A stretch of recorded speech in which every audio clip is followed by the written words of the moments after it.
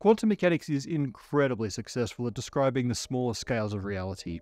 However, there are some fringe cases where its distinct features manifest on scales that we can observe directly, in things like superfluids or the interiors of collapsed stars. But it's also possible that our entire galaxy is filled with a reverberating quantum mechanical wave that literally holds the galaxy together, and in fact explains all the dark matter that we see across the universe. And this isn't even a fringe theory, it's axionic dark matter.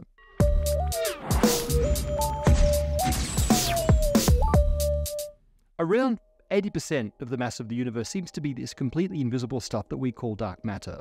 Several lines of evidence tell us that there must be an unseen gravitational influence out there. For example, it's needed to hold galaxies together and even to allow galaxies to form in the first place. Although we can't directly detect dark matter, we can see how it behaves. It acts like a bunch of low temperature particles that barely interact with anything except via gravity.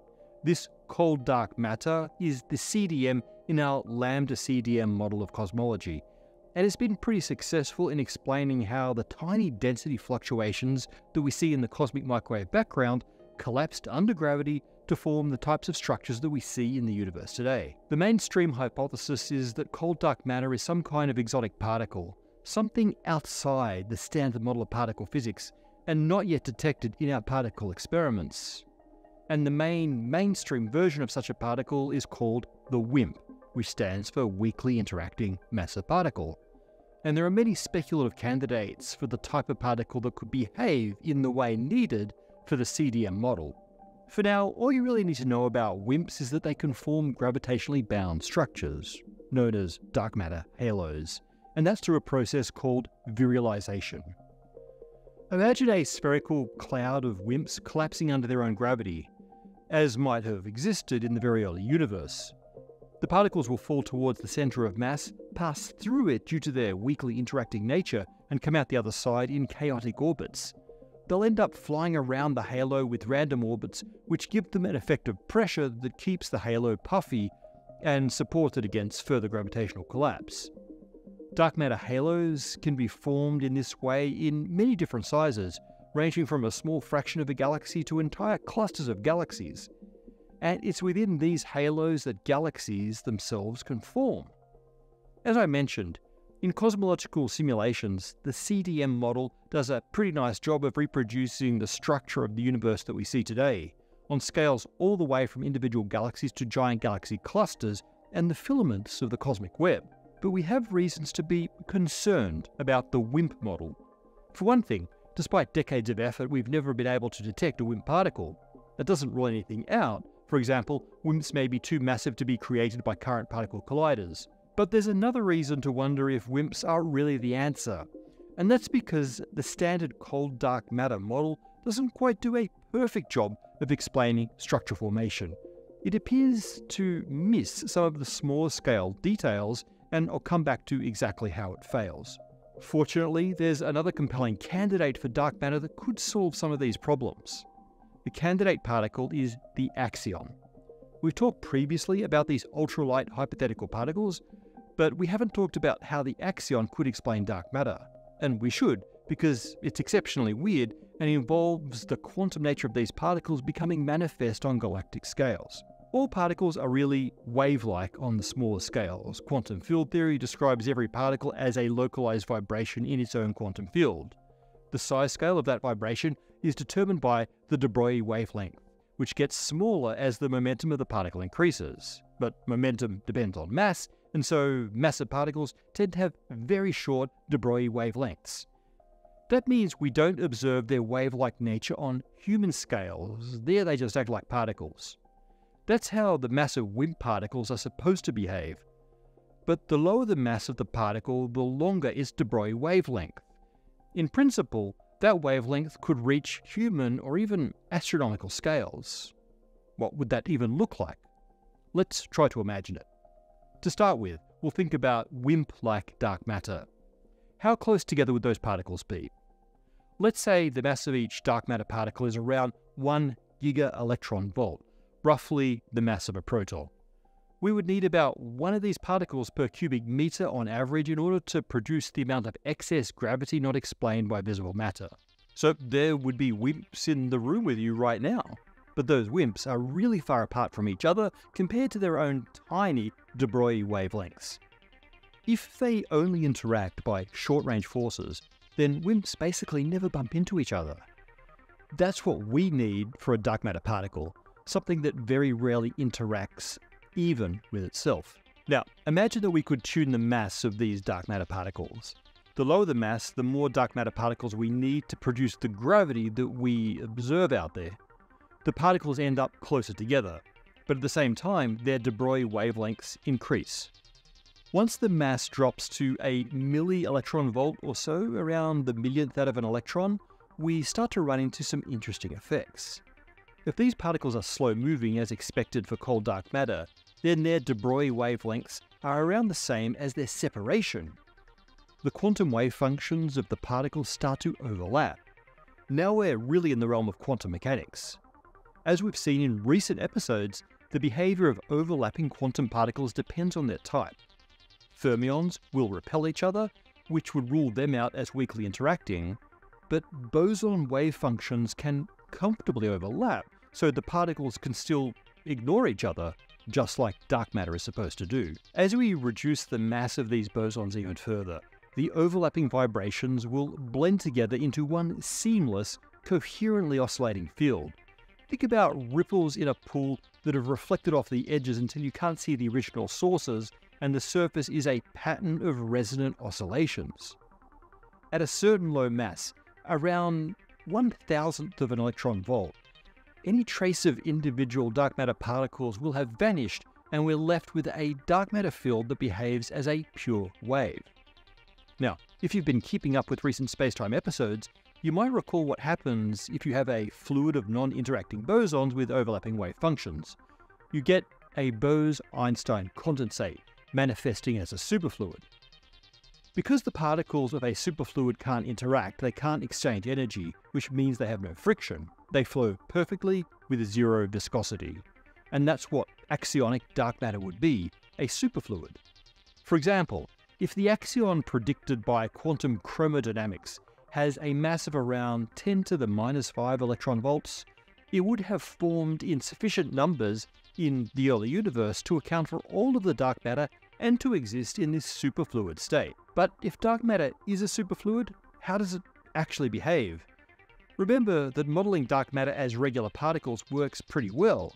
This new type of dark matter would need to do at least as good a job as WIMPs for us to consider them as a valid alternative.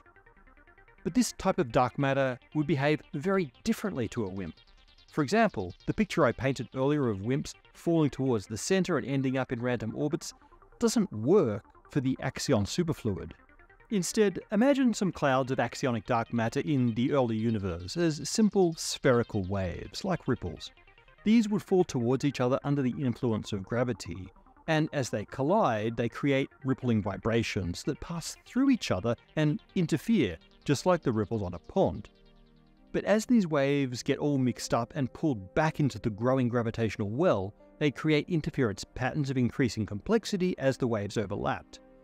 What we're left with is a messy, bubbling interference pattern of gravitationally bound dark matter waves sloshing around in the shape of a halo.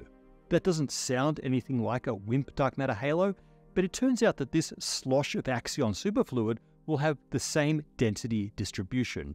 It's dense towards the center of the halo and then drops in density as you go out, in the same way as regular cold dark matter. That means it potentially has exactly the same gravitational field. That's especially true if your axion type is of the more standard breed, in which the mass is around 10 to the power of minus 5 electron volts. The typical size of this bubbly structure in axionic dark matter is of order the de Broglie wavelength, which is a few hundred meters or less for the more standard types of axion. On the scale of even the solar system, this type of axionic dark matter would look very smooth, and its gravitational effect would be pretty much indistinguishable from WIMP dark matter. This isn't a coincidence. The large scale average behavior of wavy axion dynamics is mathematically identical to the large scale average behavior of WIMP dynamics because both of these systems can broadly be described as cold collisionless fluids with no significant interactions apart from gravity.